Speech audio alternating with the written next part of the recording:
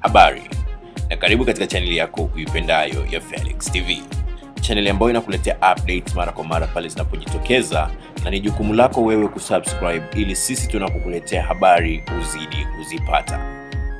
Natumaini umesikia kuhusu habari za midoli ya ngono ama sex doll, midoli ambayo inatumika kwa mbadala wa mwanamke. Sasa mambo kibao yamezuka mtandaoni, huku wanawake wengi wakipinga vikali sana hoja hizi na huku wanaume wengi wakisapoti. Midoli ya ngono yani bado ni mada kwenye mitandao ya kijamii na imesababisha watu kutoa maoni mbalimbali. Baadhi ya wanaume wametoa maoni yao kwamba midoli hiyo ni bora kuliko wanawake, huku baadhi ya wanawake wanasema kwamba midoli hiyo haitodumu kwa muda mrefu. Sasa kwanza nikuletee moja kati ya vitu vinavyoweza kufanywa na midoli hiyo, ili mwisho wa siku uweze kuniambia unahisije au ni mawazo gani ulionayo juu ya midoli hii. Midoli huyu anatumia betri ambazo zinaweza kuchajiwa kama vile simu za mkononi na laptops. Lakini pili, mdoli huyu ameundwa ili kukidhi mahitaji na matakwa ya kimapenzi kama vile mwanadamu anavyofanya. Tatu, anaweza kufanya mambo mengi wakati wa tendo kama vile kuzungumza lugha ya kimapenzi, kutaja jina lako na kukaa mkao wowote uupendao wewe. Nne, ni mpenzi mzuri na anaweza kukushirikisha kwenye majadiliano kama vile mwanadamu anavyofanya. Lakini tano, ana uwezo wa kuutunza vizuri mwili wake. Sita, mdomo wake pia ni kama ule wa mwanadamu. mechanism is on a spring, Uh, so you can do all of that without messing with the mechanics. Saba, ngozi yake ni laini sana na yenye hisia kama ngozi halisi ya binadamu, na kampuni ya Robotics ina mpango wa kuwafanya midoli hao kuwa na unyevunyevu kama ule wa binadamu halisi wakati wa tendo. Nane, unaweza kumfanya aongee lugha yoyote uipendayo.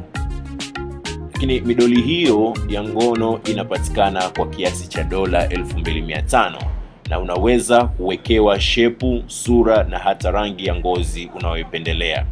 Kampuni hiyo ya Robotics inauza zaidi ya midoli 600 kila mwaka Marekani pekee. Sasa wadau mbalimbali walitoa maoni yao huku baadhi wakifurahia na kitendo hiki na wanawake kadhaa wakipinga hoja hizi. Baadhi wamesema kwamba mbali na kuwa na kuuzwa ghali zaidi ya shilingi milioni tano za Kitanzania, ukishamnunua mdoli huyu unakuwa umemaliza shughuli za kifedha. Mdoli huu hautakulilia wanja, hautakulilia simu mpya imetoka, wala kulalamika kwamba haumtunzi. Wengine wamefika mbali na kusema kwamba kama ndugu yetu Le Kokobanga Le Super Brand Le Mutus angekuwa na mdoli wake, basi mpaka leo Tanzania isingejua kama anamiliki kizao.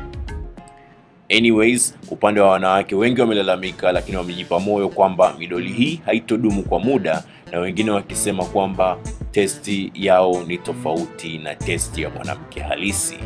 Hebu tuandike kwenye comment, wewe unahisije kuhusu juu ya midoli hii? Unahisi kwamba uh, sayansi inavuka mipaka sasa na kuingilia kazi ya Mungu na ndo mwisho wa dunia, ama unahisi kwamba ilikuwa inahitajika kwa matumizi ya binadamu?